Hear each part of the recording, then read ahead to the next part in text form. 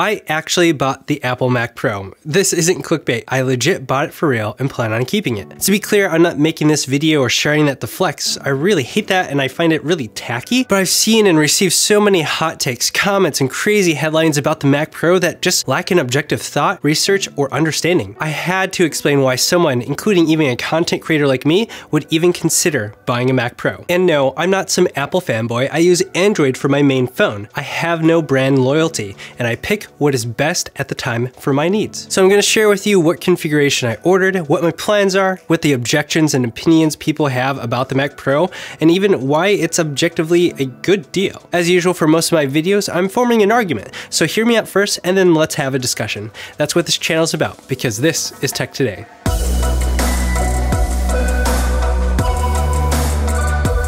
This video is sponsored in part by Privacy.com, a free service that is perfect for online holiday spending and more. It allows you to quickly and easily create virtual credit cards so you don't have to use your actual one and it protects your identity and bank information. Find out more by going to privacy.com slash this is tech today and get $5 free to use on your first purchase with Privacy.com. If you like thoughtful YouTube videos, please consider subscribing and hitting the bell icon. I have more Mac Pro videos on the way. If you decide to pick up the Mac Pro, seriously, please consider using the link in the description as that would massively help support the channel through affiliate income, and you'll likely find a better deal there than on the Apple website. So what configuration did I go with? I actually ordered the wrong model at first and had to modify it afterwards. I initially went with the base model with an upgrade to the Radeon Pro Vega 2 and 256 gigabytes of SSD storage. Jonathan Morrison suggested that 16 cores for content creators is great, and even video producers from The Verge picked the 16 core model. So I initially chose this version because I plan to upgrade everything else. Apple support documents tell you how to upgrade the RAM, add PCIe cards, and whatnot. But with the SSD, it tells you you have to contact Apple. When iFixit took theirs apart, they confirmed that the SSD was proprietary. Well, one thing unique to modern Apple computers is the T2 chip, which is more than just a security chip, which we'll talk about later. But it is true that it is in part a security chip that the main SSD controller is connected to, and it is used to encrypt your data. Now, because of all this, I contacted Apple to swap out my original order with an upgraded 4TB SSD for the main storage instead. All that to say, if you need more space in the primary storage slot and don't want to take up a PCIe slot, then upgrade it from the start. So Quinn from Snazzy Labs checked out the memory and found out that the RAM was the base level PC4 23400 micron ECC memory. While it may be the cheapest tier of RAM from them, it's important to remember that there are only a few RAM memory providers. There's Hynix, Samsung, and Micron, and they're all very high quality, even at the lowest tier. The main takeaway that we should have from this is that you can get some very inexpensive RAM to upgrade your Mac Pro and save a ton of money doing so. I calculated with the most I'll likely upgrade to, which is 192 gigabytes of RAM, and that'll cost about $720 if I bought it all right now, which would save you about $2,280 compared to buying it from Apple. You can also sell the 32 gigabytes of RAM already included in the Mac Pro, which someone will probably pay more than it should cost because it's black and Apple-y. I also plan on getting the Afterburner card once I feel like I reach a point where I'm losing headroom while editing in Final Cut Pro X. Tests from Jonathan Morrison have shown that even an 8-core Mac Pro with the base graphics can give you a ridiculous amount of headroom in Final Cut Pro X when you add the Afterburner card. And if I need to upgrade even more after the Afterburner card, I can get another Vega 2 card or whatever video card makes sense at the time. I hope this lasts me 6 years if not more, which leads me to the many objections to Mac Pro. While I can't disagree with the base price price being expensive for what you're getting, anyone who is buying the base model and not intending on making any upgrades is probably buying for the wrong reasons. I imagine this is a small percentage as most will be choosing or installing upgrades specific to their needs, and we know we're buying into an ecosystem of Mac Pro with easy upgrades and expansion. Now, here, here's the best way to think about the Mac Pro. The base model is something to build on. A sound engineer has no need for a Vega 2 card and would get on just fine with a 580X card. Forcing higher specs on someone is like saying they can only get an ice cream sundae with all the toppings available and they have to pay for that. The base model Mac Pro is like a vanilla ice cream. It's a base that you are then able to choose the toppings you want and need to your tastes and your needs, and then you only pay extra for what you actually choose. Does that make sense? As for context, in many production houses, they run off of network storage, but that also means that most of them don't need more than 256 gigabytes of storage because they're only storing their system OS and programs on it. To force a production company to have more storage than they would need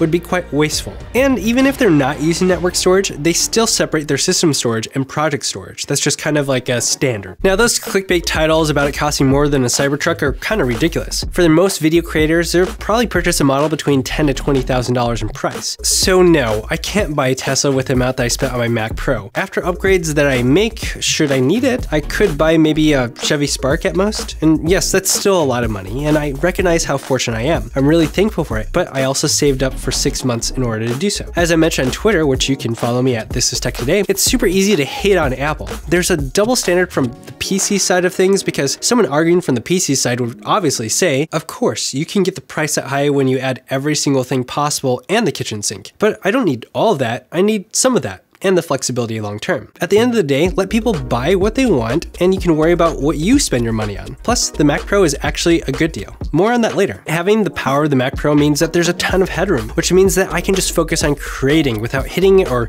worrying about any bottlenecks. For so long with the computer I've been using for four years, I've avoided doing certain things purely because my computer couldn't handle it. With the Mac Pro, I wouldn't have to worry about that anymore and I won't have to wait hours and hours to do all the transcoding and processing. With this old laptop, I would have to get dinner, do my laundry, take a nap, and a bunch of other different things whenever I had to import my footage. Oftentimes I need to do something way faster than that, otherwise I'm staying up until 4 a.m. or later while working on videos, and that's just not healthy. For someone like me who has a full-time job, a part-time job, handles investments, and runs a YouTube business, 30 or 40 minutes or more saved is a lot of time for me. I severely need more sleep. Now, a little bit of inside baseball. As a content creator, you hear all the opinions and realize that many people think their needs are your needs and find find that all these opinions don't even agree with each other. It's too powerful. Don't buy it. It's not powerful enough don't buy it. That's always interesting. Would I like an AMD Ryzen system? Totally. But I could always wait for what will come and will likely always wait for the next big thing in tech, or I could choose what's available right now. I don't want to build my own computer. This is a business machine, not something I'm using for Fortnite or anything. I don't have time to figure out parts, compatibility, troubleshooting, and tinkering. Also, building a PC means it doesn't run Mac OS X, which is a specific platform I need for what I'm trying to do. That doesn't mean I'm interested in building a Hackintosh. For production machines and machines primarily used to generate income, the last thing you want to worry about is compatibility and the need to mess with updates. This isn't a pet project, it's strictly used to generate income. I want something that gets out of my way and lets me do what I need to do without me ever, ever having to think about or worry about it, and a Hackintosh won't give me that no matter how simple and streamlined it's gotten over the years. Of all the groups that could build a Hackintosh, a video editor is definitely not the right fit because of the T2 chip and how it works with every other optimization for video. The other benefits of a Mac Pro are the after sales support and the fact that the Mac Pro ecosystem, so to speak, has fewer variables. I only have to worry about what works on one motherboard with one suite of CPUs and one type of case. That actually makes it easier to find support documents and information from other people with Mac Pros. With a custom built PC, there are tons of variables, which means you're likely out of luck at easily finding solutions to any issues you may have. This standardization also makes figuring out compatibility for any sort of add-ons that much easier. For me, I'm not moving away from Final Cut Pro X because it's just faster for me to edit on and it exports super fast. That is particularly important important when I have contractual deadlines, when I have sponsors and need to get a video out right away. And those sponsors are how I can keep making videos like this for you for free. And Adobe Premiere would have me waiting for exports, and I would have definitely missed some deadlines if I wasn't using Final Cut Pro X. Plus, the amount of time learning a completely new system is a lot to ask, especially when it's a significant part of or primary source of income for someone. And we also can't forget how often we hear about Premiere crashing on people. Final Cut Pro X is specifically optimized for the Mac and Mac hardware, including that that T2 chip. So the combination of the T2 chip, metal, and cards like the Afterburner card show that you don't really need every single core out there, and you don't even really need a fully decked out GPU configuration. A single Vega 2 is probably more than enough for a long time with an Afterburner card. If you want to see what I mean, there's a link to Jonathan's video up here. The key with everything that I'm saying is the value that is being provided over specs and cores. Being on the platform for my work, with the programs I need, with the optimization and integration I would benefit from, is incredibly valuable in real world use rather than benchmark test. I would 100% pay more for that creative freedom and lack of maintenance and stress. The biggest hurdle and frustration for me when I make videos is editing bottlenecks and issues. So I'm gonna say it, the Mac Pro is actually a good deal. I know some of you may want to run to the comments to disagree with me, but hear me out. The Mac Pro is actually a good deal because most won't buy the base model, but will spec it out to around the $10,000 plus range. Once you cross over that price range, it is nearly equal in price to other comparable workstation configurations from HP, Dell, and others. Then more you upgrade it from there, the better it becomes compared to comparable workstations. On top of that, you get 10 gigabit Ethernet on the Mac Pro, additional Thunderbolt 3 I.O. ports when you add MPX modules, and arguably a much more attractive, durable, and higher quality case. To show you how much cheaper and better the Mac Pro is compared to an HP workstation equivalent, let's look at a high mid-tier spec. When I look at the HP Z8 G4 workstation, I added the following. An Intel Xeon Platinum 8280 processor that turbo boosts up to 4 GHz, which is lower than Apple's 4.4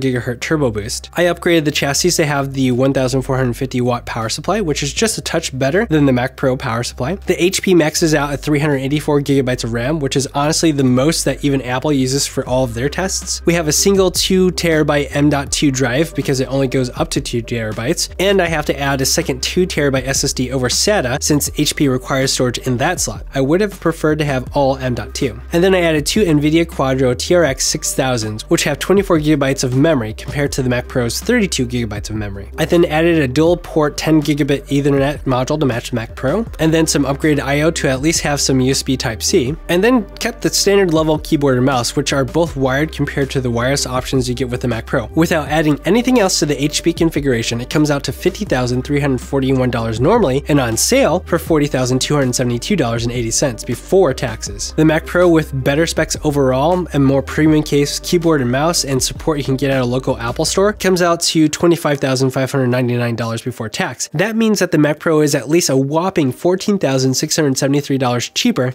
than the PC equivalent. You could buy the Mac Pro I bought and then some with the amount saved by going with the Mac Pro over that PC equivalent. If you want to find out way more of the configuration options are available and why the Mac Pro is actually really well priced, you should check out this great video from MaxTech. So why in the world would I buy a Mac Pro if I'm primarily making videos for YouTube? A few people have sarcastically said that I'll upgrade the Mac Pro in two or three years like every other tech YouTuber. The reality is I've been using my 15 inch MacBook Pro since late 2015 and didn't upgrade until the 2016 came out. I'm extremely frugal and will only spend money when it really counts. My goal for the Mac Pro is to have it grow with me and last at least six years, if not longer. There are people I know that are using the same Mac Pro for the past 12 years. Many people have said that I should get a MacBook Pro or an iMac Pro instead. The reality is I need both a travel device and a desktop device. I already have a MacBook Pro, and yes, it is a phenomenal and powerful device. The 16 inch model is really great, but I plan to hire some help in the next year, so I'll need two computers anyways. With that said, this is also a business expense and a tax write off. The income that is generated by even buying the device and making videos like this will help pay it off. It would also help generate income by making videos about other products. Additionally, purchasing a MacBook Pro or iMac Pro means that I'm stuck with whatever I purchase at the time. If I grow out of the specs in those devices, I have to sell the whole thing, the whole computer. Instead of just replacing a processor or adding a GPU, an afterburner card, or something like that, a whole new computer needs to be purchased and the old one sold and eventually disposed of. That's not only bad for the environment, but also way more expensive for me the moment I have to buy a second iMac Pro. If I'm using two computers for my business, having to 2x that is even worse. And we can't dismiss the hassle of having to transfer all of your stuff from one computer to the other, especially with software licenses, video, motion graphic assets, and so on. Also, I can resell the old parts in the Mac Pro when I upgrade any of the individual components. A reality that cannot be denied is how an Apple product retains their value far better than a PC hardware. Of course, that same logic of depreciation can be applied to selling an entire iMac Pro or a MacBook Pro, lose out on the flexibility long term and at a much higher entry cost for each upgrade.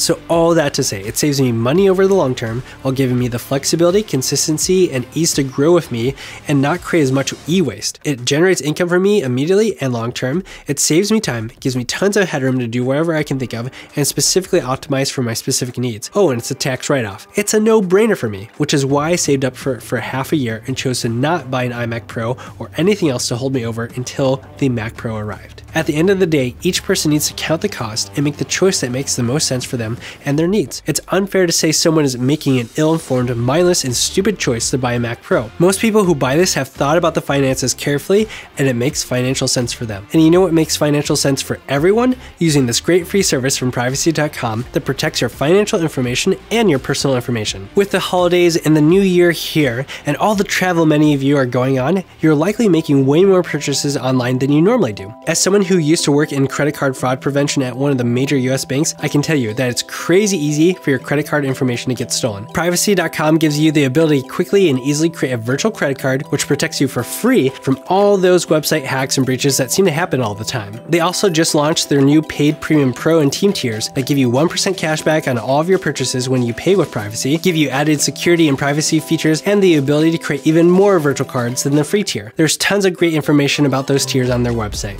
You can even set it up to work for a one-time set amount or a certain amount every month, which is great for subscriptions and promotional trials. I never have to worry about accidentally paying for an extra month or having to deal with some super obnoxious and complex cancellation process. I use privacy all the time to protect myself, and I love getting a good deal, and privacy.com is going to give you a great deal by giving you $5 off free on your first purchase with privacy.com. All you have to do is go to privacy.com slash this is tech today and sign up. It's literally free money. You can even use that $5 for free to plant some trees with Mr. Beast, Linus Tech Tips, Mark Rober, Elon Musk, and so many other great creators by going to teamtrees.org or using that fundraiser bar that's somewhere below or around this video. Enough has already been raised to plant over 20 million trees and we can reach even a higher amount before the end of the year. We gotta make a difference, take care of our planet, and can do that by helping plant some trees or even reducing your e-waste. And what do you think about the Mac Pro? Now that you know why I would buy something like this and why someone else would, does it make sense that this is a fantastic choice for a specific group of people? Can you understand why the Mac Pro has a great price now that you look at it in context